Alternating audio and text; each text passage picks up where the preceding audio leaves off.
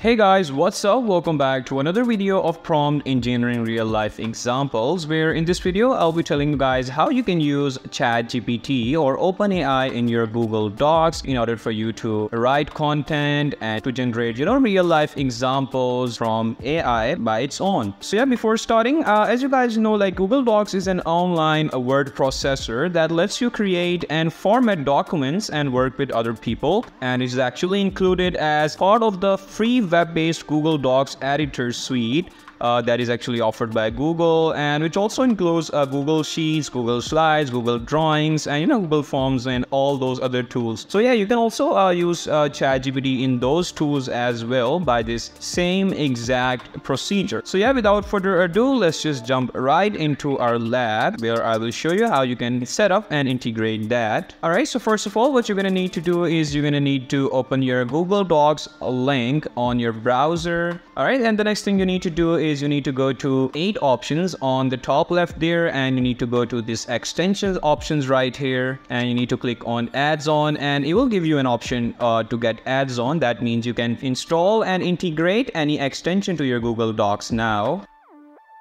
and after that, uh, a Google Workspace Marketplace column will appear uh, into your Google Docs. And after that, you can search GPT for Docs over here and you know hit search. And yet the first option uh, that will appear on your Google Workspace Marketplace which will be GPT for Sheets and Docs.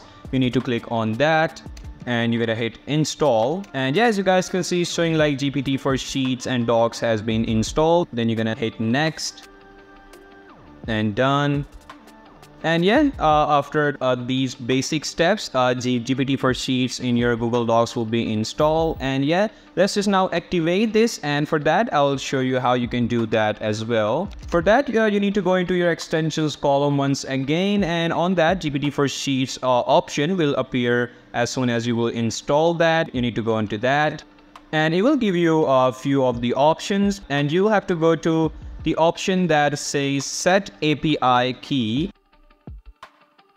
and then it will ask you for your OpenAI API key. So how you can get that? Let me show you guys that as well. For OpenAI API key, you need to go into this link that I showed you on the screen as well. You can copy and paste uh, this link into your browser and it will guide you to this uh, website right away. This is basically a website for OpenAI overview and on that you need to go into uh, the top right option which says personal you need to click on that and you need to go to the view API keys over here. You need to click on that so it will open an option for you for the API keys now what you want to do is you need to create a new secret key that will give you an API key number. So that will be useful for you in order to put that into your Google Docs. And after that, your uh, chat GPT in Google Docs will be activated and ready to use. You need to copy that now by hitting that green option over here. Need to click OK.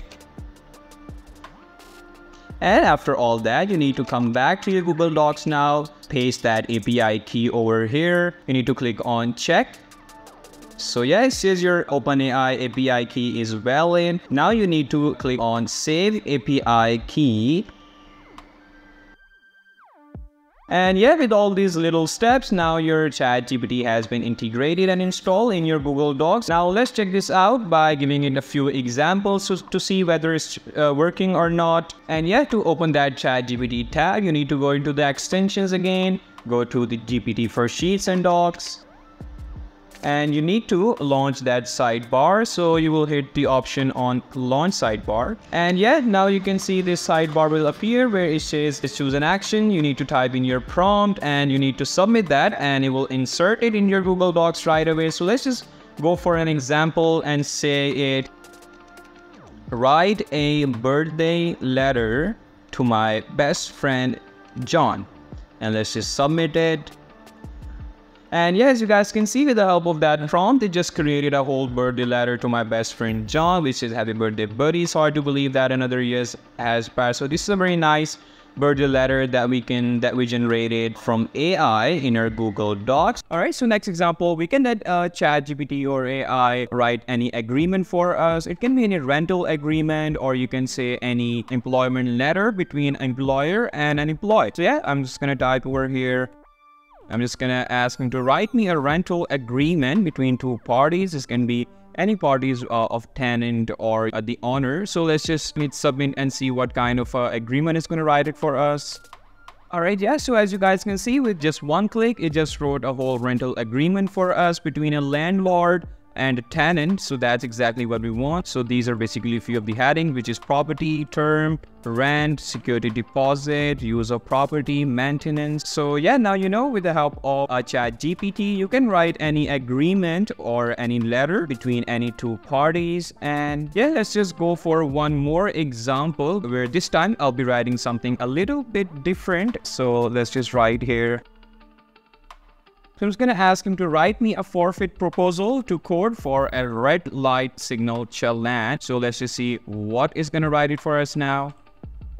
So yeah, so now it just created a whole application or kind of a letter you can say to court which says your honor as a penalty for the red light signal challan. I propose that I'll be required to attend a traffic safety course. This course will be educating. So now forfeit that red light signal challan. So it has written a whole uh, proposal for us with a very nice structural template. So yeah, now you can use this template and use this proposal in your respectively scenario. So yeah, as you guys can see with the help of AI, now you can write essays, paragraphs, any article, or anything of your favorite topic with the help of just prompts using ChatGPT in Google Docs. So yeah, that will be it for today's video. I hope you guys liked it. Uh, if you do, don't forget to watch more of our videos on this prompt engineering course and I'll catch you guys in the next one.